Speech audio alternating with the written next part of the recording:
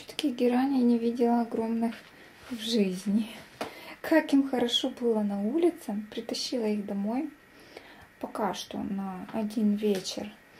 Завтра муж поедет, отвезет все это маме. Она там их обрежет, посадит. Ну, для чего много посадочного материала. Тут можно начеренковать, кто занимается этим либо продажей, либо разведением. Я, конечно, этим заниматься не буду. Отправлю маме. Оставлю себе один кустик. И все на этом. Очень шикарные герани.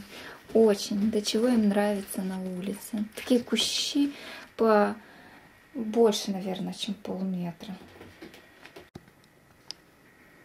Посадила герани и компанолу принесла с клумбы тоже уже посадила. Э, с клумбы я себе оставила одну герань, которая цветет розочками. Она такая розово-будная. Вот, очень красивая. Компанула. И это мне дали черенок герани. Тоже очень красивая. Она какая-то красно-малиновая. Она мне нравилась у соседки в клумбе. Потому что я сегодня всем пока копала, раздавала.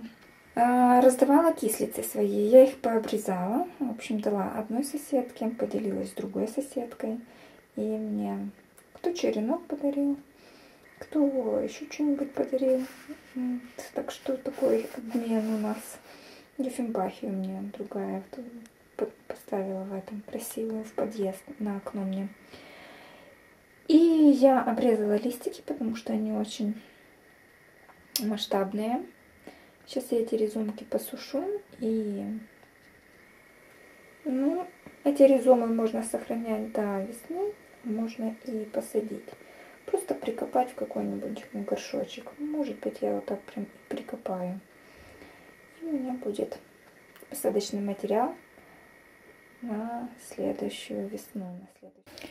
25 октября клумба еще не полностью убрана будет убираться передний план и задний план. Это однолетники бархатцы низкорослые и крупноцветковые.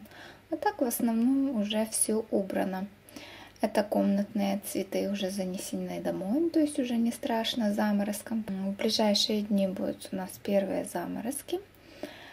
Комнатные цветы уже занесены, уже не страшно. Розы не боятся. Все остальное тоже как бы многолетняя и э, заморозков и морозов не боится. Такая вот клумба осенняя. Всем спасибо за внимание. С вами была Ирина. Всем пока-пока.